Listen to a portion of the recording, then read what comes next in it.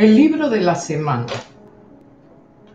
Esa bruma insensata de Enrique Villamata.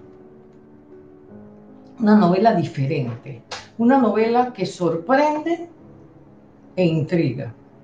A finales de octubre del 2017, el gobierno catalán ha programado la República. La gente se manifiesta por las calles, el cielo está lleno de helicópteros de la Guardia Civil.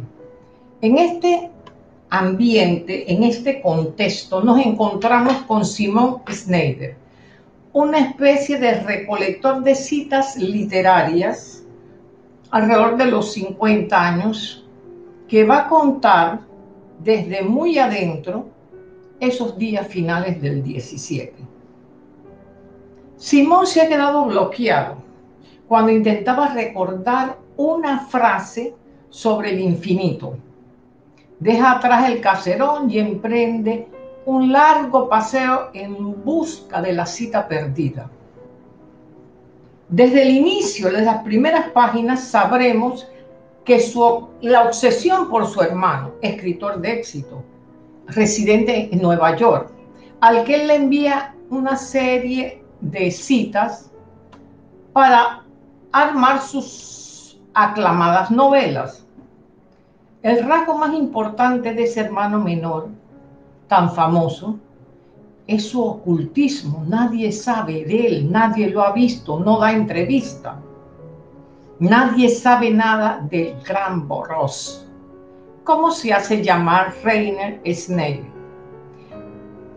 Él escoge muy bien el narrador, el escritor.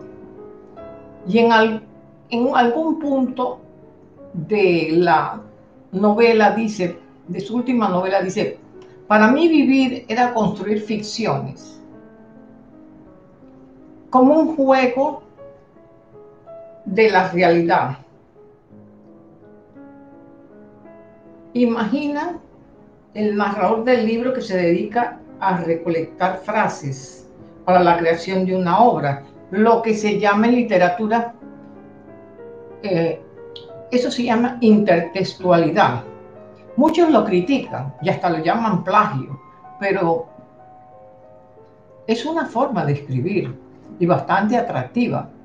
Yo pienso que se debe citar al autor. Esto es lo que sucede aquí en esta bruma insensata. Una novela de Enrique Villamata, uno de los mejores escritores contemporáneos españoles.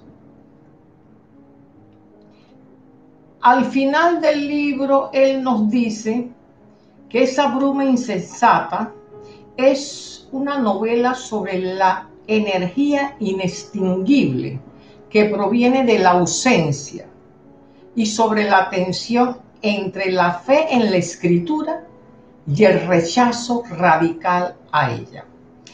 Mire jóvenes, esta vez no les voy a hablar del autor, les voy a poner una tarea busquen la biografía de Enrique Villa Mata. Ustedes tienen que ser parte de este proyecto de siembra de lectores.